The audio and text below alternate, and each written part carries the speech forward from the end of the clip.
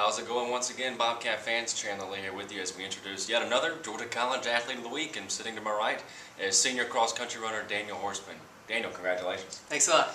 Well, Daniel, you just had a, a great finish at the Augusta State Jaguar Invitational, your third best career finish. You ran a time of 26.22 in the 8K course. Tell us how you felt overall of your performance. Uh, I was really happy with my performance this race. Uh, it was my best of the season, and um, you know I couldn't be happier. Tyler Maddox and I ran together almost the entire race, and ended up finishing towards the front. I think the two of us were fifth and seventh, and uh, the rest of our team was close behind. So we're moving on up this year. You mentioned Tyler, and that's a good one-two punch for y'all's cross country squad. Uh, does it help motivate you two to run with each other during a race? Oh, absolutely. Um, Tyler and I have been able to use each other a lot this whole season. Um, every workout, every interval of every workout, we finish side by side basically. So it's no surprise that during the race we run together and we, you know, finish really close every single race. It seems like so it helps a lot. Excellent. You mentioned the, those workouts. Tell us what are some of the workouts for, for, for a pre-race?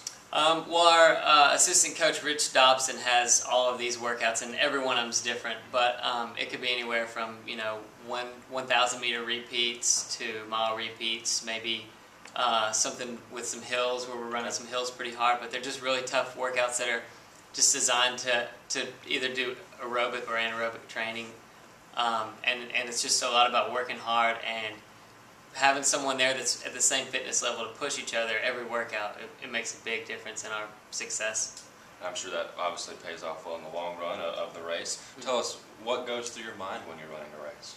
Uh, during the race, you know, this Augusta race was a small a small meet, so during a race like that, we're all about positioning. Mm-hmm. So it's not, you know, ideally we want to run the best time possible, but also we're looking at where are we compared to the other runners in the race. Um, so Tyler and I found ourselves in a pack that was up towards the front, and it was all about just kind of working with that pack. And, and we were running with three other guys from different schools, so we had a, a big, strong, a strong pack towards the front.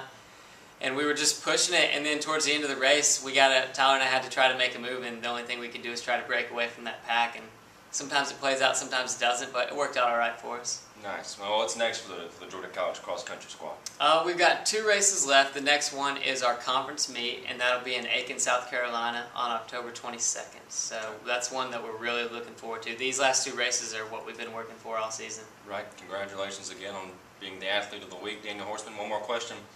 What do you do outside of running?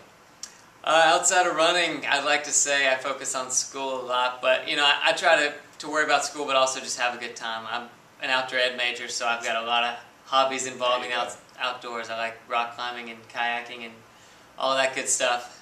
He's Daniel Horseman, the Georgia College Athlete of the Week.